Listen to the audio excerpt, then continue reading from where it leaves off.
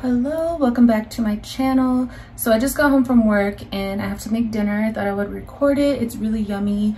It's cheap. It's quick. It's easy. If you want to make this dish healthier just throw in some fresh spinach and uh, that'll give it some color and get your greens in. I'm using what i have. I don't have spinach right now so again i'm using what's in my pantry and my fridge.